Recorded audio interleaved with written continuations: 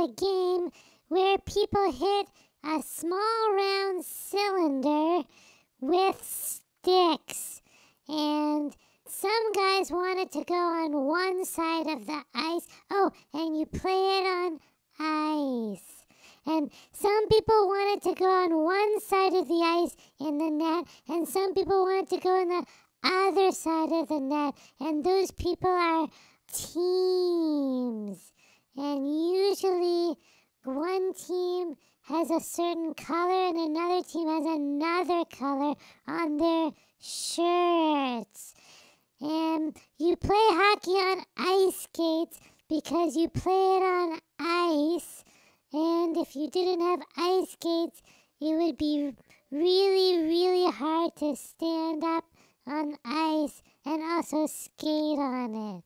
So, yeah, you get one point if the puck goes in the other team's net, and the other team gets a point if it goes in your net. And also, you have to wear lots of gear because it's dangerous. There's sticks involved. And that puck goes really fast. If you get hit with that puck, you're out of luck. That's my hockey poem. So, some of the stuff you might have to wear for hockey, other than skates, are a helmet with a mask and lots of pads. And the only time you can take them off is if you have a fight with someone. Because also in hockey, sometimes people fight.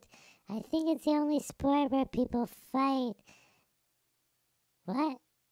Oh, there. I guess there's boxing, but that's only fighting. So, in conclusion, hockey is cool. I mean, cold. Fly, Herschel, fly!